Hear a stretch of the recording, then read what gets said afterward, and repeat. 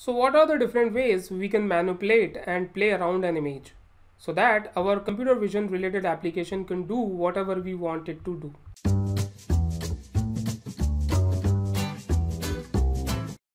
Folks, Nitin here and this is the AI University channel. In this video, I'm going to introduce the image manipulation techniques. So some of the examples of image manipulation are scaling, resizing, transformation, edge detection, cropping, sharpening, uh, affine and non-affine etc and in this video we are going to learn about image manipulation techniques like transformation affine and non-affine. So watch this video till the end. If you are new here then consider subscribing to this channel or if you have already subscribed then click on the bell icon to receive the notifications about hottest technologies of 21st century. Please show your uh, love and support by liking sharing and subscribing to this video as i will feel highly motivated also, we now have the AI University uh, mobile app and the website which is in beta mode right now. You can download the code related Jupyter notebooks by enrolling to the course right here on the AI University website. You can access the related quizzes and certificate of course completion like this from the AI University. Uh, once I upload all the videos and once you complete all the tutorials including final quiz.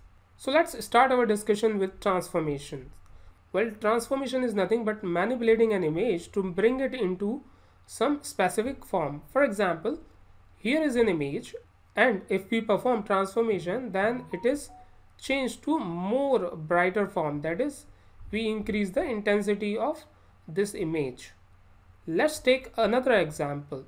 So we can also transform this image to change it to distorted form. So here the image that is the width and height of the image gets changed after performing transformation. Image transformation is categorized into two forms. One is affine and another one is non-affine. In affine transformation, we generally do rotation, translation and scaling of an image. One more point to remember here is that affine transformation is a method which preserves straight lines, points and planes. Sets of parallel lines remains parallel after an affine transformation. I will tell you what I am trying to say in a short while. Let's first see what is scaling, rotation and translation. So scaling means we are either increasing or decreasing the size of an image. Look at this image which depicts image scaling. Then we have image translation which is the process of moving the image to some other direction or coordinates such that every point in the image is moved in the same direction and at the same distance to form the image.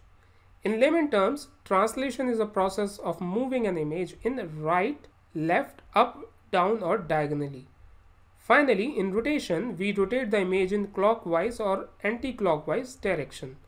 So if you see here, uh, these sets of parallel lines remain parallel after an affine transformation. The affine transformation technique is typically used to correct geometric distortion or deformations that occur with non-ideal camera angles. Now let's move on to the non-affine transformation. In this kind of transformation, the sets of parallel lines doesn't need to be remain parallel. You can see that after uh, uh, you know non-affine transformation, these set of lines are not parallel after we applied non-affine transformation on this image. Non-affine transformation are equally important in computer vision because imagine a situation where camera is looking at this right angle from the top down view and now if you move your camera in this direction so your viewpoint will now be changed and your camera will now look at the rectangle just like this thereby making these two points closer and these two points farther apart. There are ways to handle such situations in computer vision and we will see that in later videos.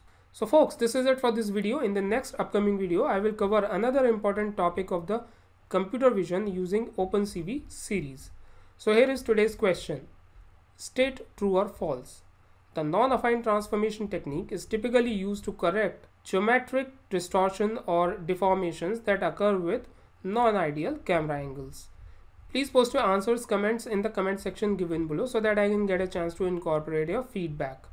You can also post your technical questions in the comment section and I will try to answer the same. If you are watching this video and you are not already a subscriber to our channel, consider clicking that little subscribe button. In case you have already subscribed, then click on the bell icon to receive the notifications whenever I will release a new video. So thanks for hanging out with me guys. I will be covering next topic in the upcoming videos. So keep on watching. Thank you.